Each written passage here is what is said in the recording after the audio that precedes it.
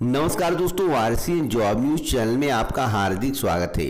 आप देख रहे हैं दैनिक रोज़गार मुख्य समाचार। आज हम बात करेंगे आज की महत्वपूर्ण खबरों के बारे में। तो आप सभी वीडियो को पूरा देखिएगा, स्किप मत करिएगा।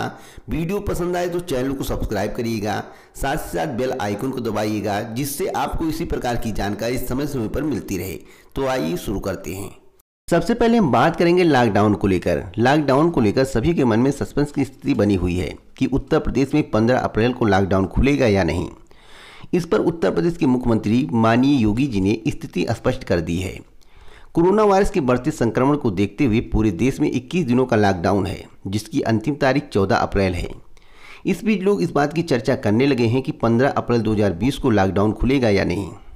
उत्तर प्रदेश के मुख्यमंत्री योगी आदित्यनाथ ने लोगों के इस सवाल पर स्थिति स्पष्ट कर दी है।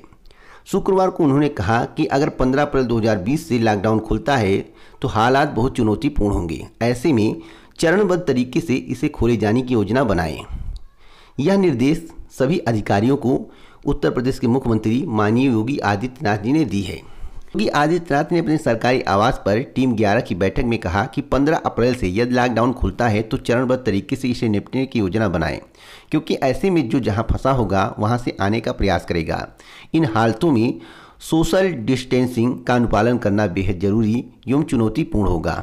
इसके लिए अभी से कार्य योजना तैयार करें। स्कूल, कॉलेज अलग अलग तरह के बाज़ार और माल कब और कैसे खुलेंगे, इसकी कार्य योजना तैयार करें। तो बहुत चुनौतीपूर्ण होगा अगर 15 अप्रैल 2020 को लॉकडाउन खुलता है। आपको बता दें, सरकार इस चुनौतीपूर्ण स्थिति से निपटने के लिए एक हज़ार करोड़ रुपए का कोरोना केयर फंड तैयार करेगी। इस फंड से टेस्टिंग लैब की सुविधाएँ बढ़ाने के साथ इलाज में ज़रूरी और उपकरणों, मसलन, वेंटिलेटर, मास्क, सैनिटाइजर, पीपीआई आदि की व्यवस्था की जाएगी। तो इससे इस बात का आकलन लगाया जा सकता है कि ज़्यादा उम्मीद है कि 15 अप्रैल 2020 को लॉकडाउन खुलेगा। लॉकडाउन की सीमा बढ़ेगी नहीं, अगर स्थिति जिस तरह आज के समय विकराल होती जा रही है, दिन प्रतिदिन चार सौ पाँच सौ केस कोरोना वायरस के मिल रहे हैं, अगर इस तरह बढ़ते नहीं रहें, कुछ कम हुए तो आप मानकर चलिए कि 15 अप्रैल 2020 को लॉकडाउन खुल जाएगा, जो उत्तर प्रदेश के मुख्यमंत्री माननीय योगी आदित्यनाथ जी ने कहा उसी बात को मैंने आपको बताया है। कल पेपर में भी हो सकता है आ जाए। दूसरी खबर, उत्तर प्रदेश लोक सेवा आयोग की पीसीएस 2018 मुख्य परीक्षा परिणाम को लेकर है। पीसीएस 2018 मुख्य परीक्षा परिणाम के संबंध में कई अभ्यर्थियों ने जानकारी मांगी है। अभ्यर्थियों का कहना है कि सर, परिणाम कब तक जारी होगा? अभी तक परिणाम जारी नहीं हुआ, जबकि 20 अप्रैल 2020 को यूपी पीसीएस 2019 की मुख्य परीक्षा प्रस्तावित है। अगर उससे पहले परिणाम आ जाता तो अभ्यर्थियों को विशेष लाभ होता है। मैं आप सभी को बताना चाहता हूँ कि आप मान कर चलिए निन्यानवे प्रतिशत कि 20 अप्रैल 2020 को जो पी सी की मुख्य परीक्षा प्रस्तावित है, वह स्थगित होगी। 16 या 17 अप्रैल 2020 तक आपको नोटिस देखने को मिलेगी। उससे पहले भी नोटिस देखने को मिल सकती है।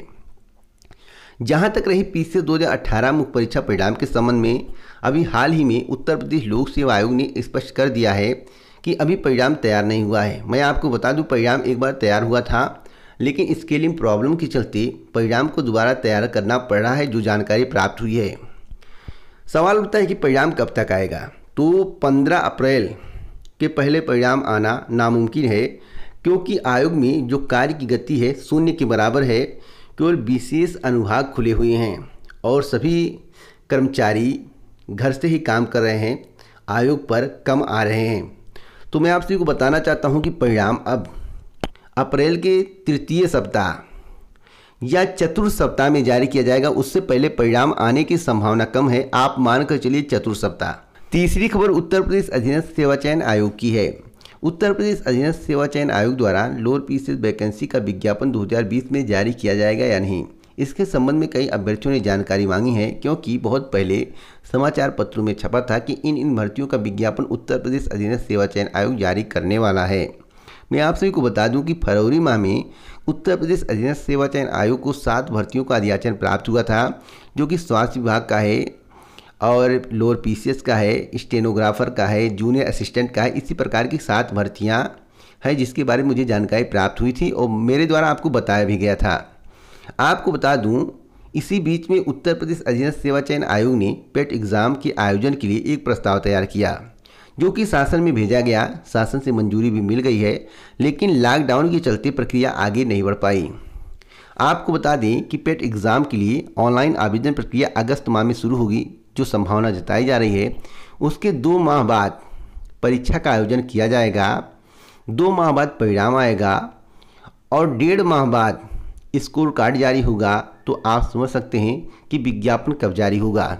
जो जानकारी मिली है कि सितंबर 2021 तक लोअर पीसीएस वैकेंसी का विज्ञापन जारी हो सकता है। उससे पहले विज्ञापन जारी होने की संभावना कम है, क्योंकि उधर 2022 में चुनाव है तो 2022 चुनाव के पहले विज्ञापन जारी होगा।